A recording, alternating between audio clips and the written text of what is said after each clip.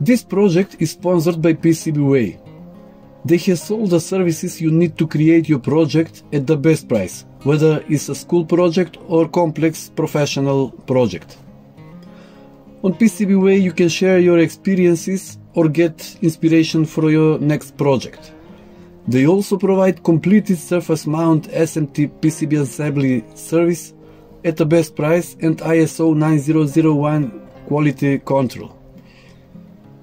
Uh, visit www.pcbway.com for more services. Hello, fluid simulation is a way of replicating the movement and behavior of liquids and gases, gases in different environments.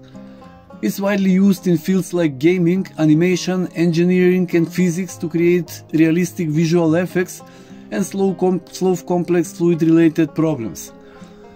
This time I will present you a very simple way to make a fluid motion simulator using a few components. This is a simulator with a relatively low resolution of 256 DOS and for that purpose I use a display made of 16 on 16 LEDs with WS2812B LED chips. Specifically I'm using a cheap ready-made module uh, with 16 on 16 LEDs. However, on this small display I will create some really cool visualizations. The device is extremely simple to build and consists of only a few components.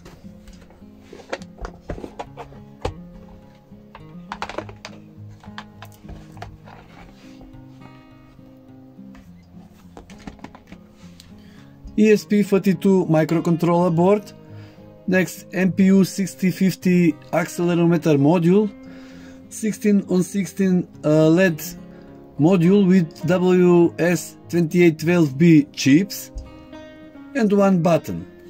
For this project I'm using a box from one of my previous devices for which I have also made a free 3D printed grill for a better visual presentation. Notice even without this addition the visual effects is impressive.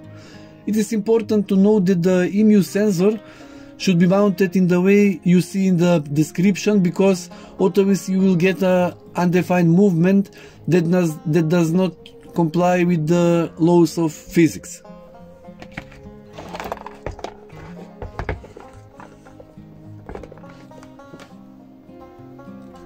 Now a few words about the software. The code is designed in a way that allow us to change multiple parameters so we can simulate the movement of sand particles liquids, gases and other fluids. First of all, we can change the number of active particles and the light intensity of the LEDs. With the button we can also choose one of the on the three colors for the LEDs that we have defined previously. Also at the beginning of the code numerical values are given for some of the colors.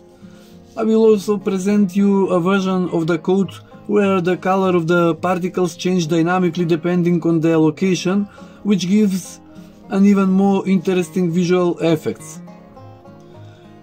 Then follow the basic physical quantities in the form of constants.